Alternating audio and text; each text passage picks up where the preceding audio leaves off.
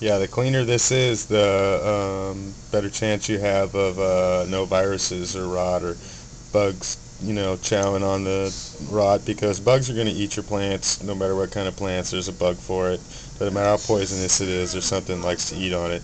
But if it starts rotting or virusing or something, then there's certain bugs that'll carry that stuff along and they'll make it worse or they'll specifically show up to chow on just that and that's what makes things worse. So um, once again we're gonna we're gonna fire polish this down a bit.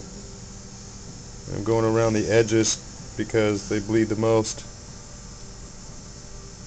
and you have concentrations of moisture right around there. I'm not, you know, trying to cook it or burn it. It's just a matter of, uh, think of it like your skin.